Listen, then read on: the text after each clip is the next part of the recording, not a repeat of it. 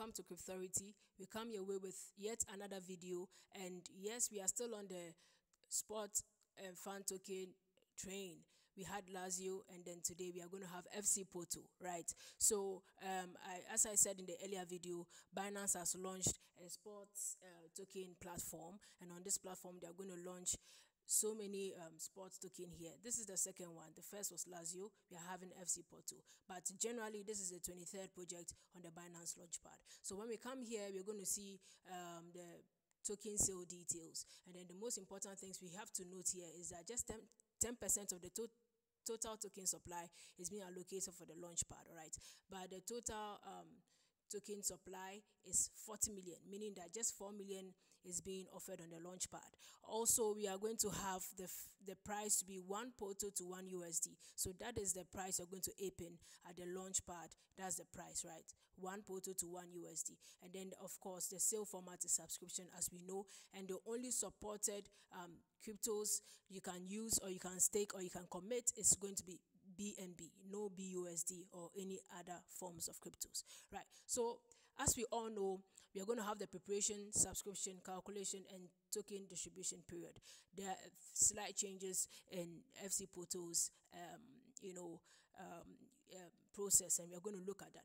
First of all, the preparation period is going to last for 10 days. That is going to be from the 6th to the 16th of November, right? So we are going to have 10 days, and during these 10 days, an average is going to be um, gotten from your BNB holdings. Okay, so this average is going to be your max commitment, right? So during these 10 days, ensure that if you want to participate in this launch pad, you buy BNB at least 0.1.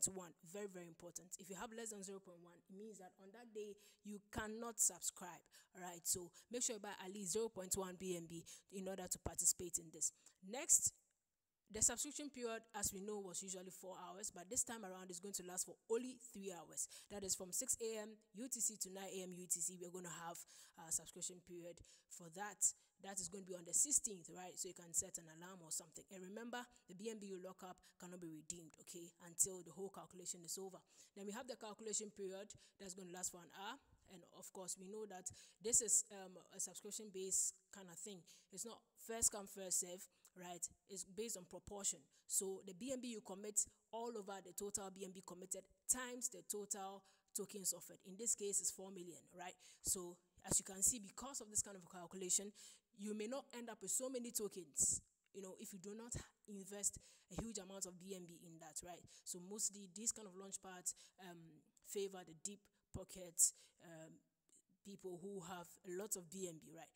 So I'll talk about how you can still uh, make some sense out of this whole thing if you don't have a lot of BNB. Now, the final token distribution period. So you can go on and read more about it on their website, the fan token, and then go to the Twitter and find out more information. So let's go to the platform itself and see what's up. So FC Porto, 10 days left to subscription right let's click on this and then find out more information. Now we can see that of course the price is there one porto to one usd and 1000 usd hard cap per user. Right so that is it. And we have 0.1 bnb single initial in investment. Right so that is the least. You can't go below that. Right and we come down here. You can see calculating uh, because the prices i mean the holding details are updated 2.30 each day. So this just kick started. So you're not going to see anything here, right? And then you, you move down subscription calculation and final token distribution. You can go on along and, um, and read more about FC Porto. It's a Portuguese professional sports club whatever they stand for. You can go to Binance Research and also check out uh, more information about the research they did, the tokenomics, um, the vesting periods, the team, and all that. Very important. You should check that out. Right. So when you come here, you find the tokenomics, um, everything that you need to know about it, right? So basically, I've pointed out the most essential things that we have to know. Final words before I end this video. Now, it's very important that you know, as I've said already, that you won't have any substantial amount of tokens if you don't invest much. All right, so whatever you invest, whatever you get, you can sell it when the price is at its high, right? When the price hits high, when the market opens, you can sell it off and buy it when it dips. But please, if you want to buy, wait for the market to dip a little bit before you buy.